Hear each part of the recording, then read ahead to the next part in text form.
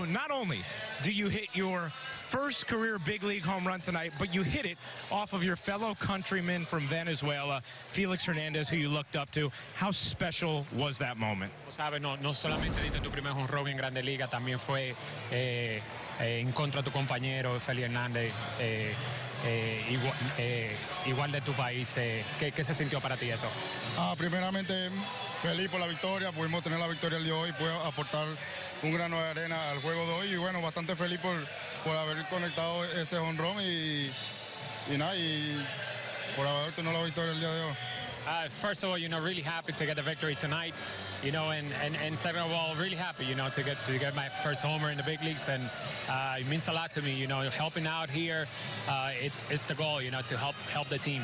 Well, you've helped the team since you've gotten called up, including an outstanding play to end the sixth inning.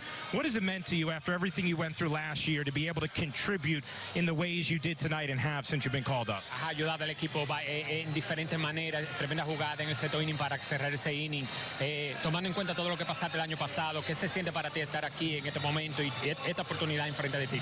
Wow, eh, tremenda oportunidad. Yo creo que te- aprovechar cada oportunidad que, que me dé el manager y tratar de dar 100% en todos los juegos y, y lo más importante es obtener la victoria. Ah, wow.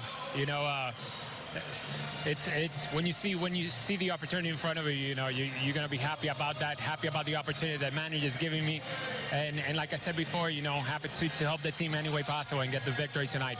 All right, thanks a lot, Thairo. Congratulations. Thank you, thank you.